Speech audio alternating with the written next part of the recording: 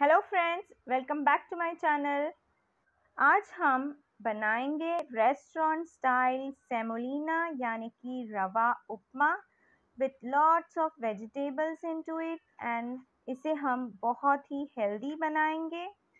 ये बहुत ही इजी एंड एब्सोल्युटली टेस्टी ऐसा ब्रेकफास्ट ऑप्शन है। इसे बनाने के लिए मैंने एक कढ़ाई में three to four tablespoon oil गरम कर लिया और उसके अंदर मैंने ऐड किया है peanuts and urad dal and I am adding some mustard seeds इसे हमें क्रैकल होने तक फ्राई करना है।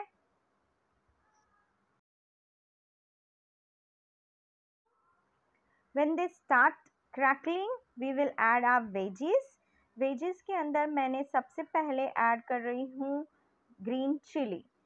आप टेस्ट के अनुसार वन या टू ग्रीन चिलीज ऐड कर सकते हैं। Then I am adding some chopped onion and chopped French beans मैंने सारे वेजिटेबल्स को बारीक कट कर लिया है। Then I am adding some curry leaves into it some green peas and some carrots you can also add tomato add करने के बाद इन सबको हम वन मिनट के लिए सौते करेंगे। मैंने सारे वेजिटेबल्स को सौते कर लिया है ऑयल के अंदर। Now we will cover and cook this for one minute. जब तक ये वेजिटेबल्स थोड़े सॉफ्ट हो जाते हैं see they have become a little softer अभी हम इसके अंदर ऐड करेंगे सेमोलिना, यानी कि रवा। एक बार मैंने इसे थोड़ा सा घुमा लिया। अभी ऐड कर रही हूँ वन कप सेमोलिना। इसे अभी हमें लो फ्लेम के ऊपर थ्री फोर मिनट्स के लिए रोस्ट करना है।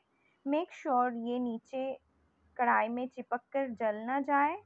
इसे हमें ब्राउन नहीं करना है वाइट ही रखना है।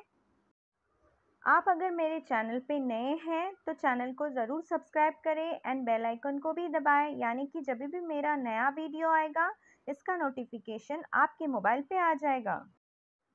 रवा जो है, अच्छे से रोस्ट होने के बाद हम ऐड करेंगे सॉल्ट, टेस्ट के अनुसार, and lemon juice, and some fresh coriander leaves.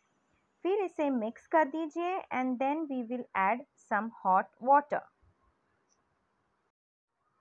Tip to remember is whenever you make rava upma or you make rava shira you must always add hot water into it now it's time to add hot water hot water हमें gradually add करना है धीरे धीरे and इसे mix करते जाना है इसकी वजह से इसके अंदर कोई भी लंप नहीं रहेगा देखिए ऐसे धीरे धीरे पानी ऐड करते करते इसे मिक्स करते जाइए। टोटल मैं इसके अंदर three cups of hot water add कर रही हूँ, क्योंकि हम रेस्टोरेंट स्टाइल बना रहे हैं, ये थोड़ा सा सॉगी टाइप होता है। अगर आपको खिला खिला रवा उपमा बनाना है तो आप इसके अंदर कम पानी ऐड करें। अब मैंने इसे सारा पानी ऐड करके मिक्स कर लिया है। ये quick and healthy breakfast option है। इसके अंदर अब हम ऐड करेंगे some sugar.